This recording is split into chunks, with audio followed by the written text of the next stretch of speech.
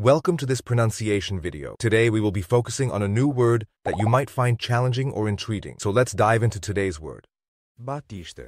which means Baptista, a character in Shakespeare's The Taming of the Shrew. let's say it all together. Baptista. Baptista. Baptista. One more time.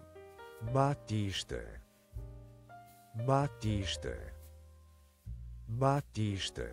Thank you for joining us on this adventure in pronunciation. Remember, language is a journey, not a destination. Keep exploring, experimenting, and expanding your linguistic horizons. We'll see you next time.